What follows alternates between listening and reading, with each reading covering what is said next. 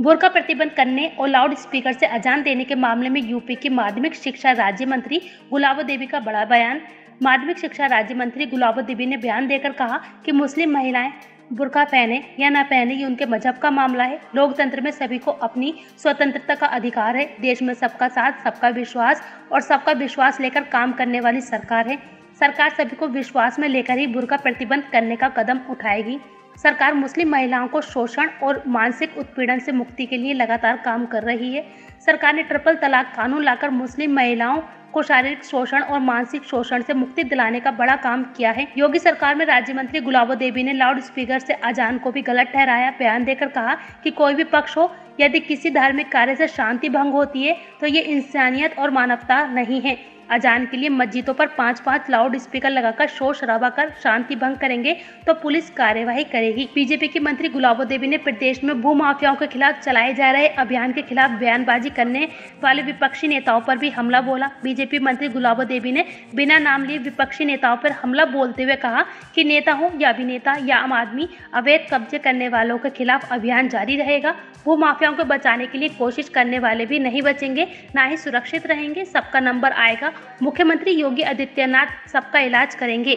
UP की माध्यमिक राज्य मंत्री गुलाबो देवी ने चंदोसी में अपने आवास पर बयान दिया। देखो, हमारी सरकार की मान्यता है, सबका साथ, सबका विकास और सबका विश्वास।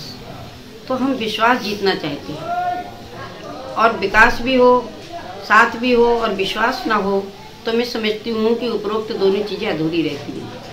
यहाँ जहाँ तक अजान की बात है कोई भी पक्ष हो, अगर किसी के धार्मिक कार्य को करने से दूसरे को आपत्ति होती है या उसे परेशानी होती है तो उसे नहीं करना चाहिए।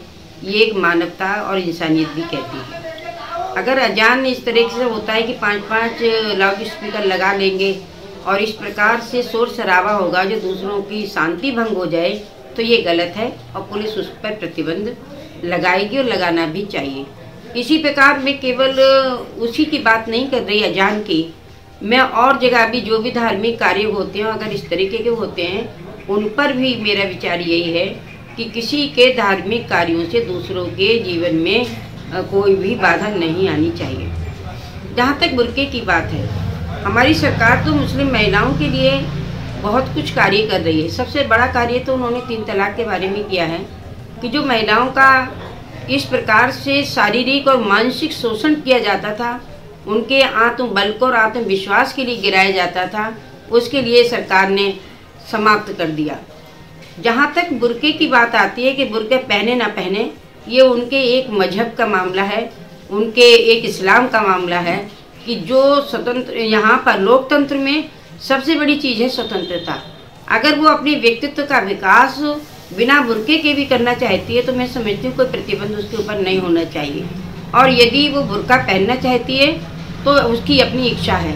उस पर भी किसी प्रकार का कोई भी प्रतिबंध नहीं है। उसके व्यक्तित्व के विकास में कोई व्यक्ति बाधक ना बने, किसी मज़हब को लेकर या किसी धर्म को लेकर कई देशों में बुरका प्रतिबंधित कर दिया गया है, जिसके बाद आपकी सरकार के, लगातार कई सांसद, विधायक ये मांग कर रहे हैं कि अपने देश में भी खास करके यूपी में भी बुरका प्रतिबंधित कर दिया गया है ना, ठीक है, कई देशों में बुरका का प्रतिबंध कर दिया गया है।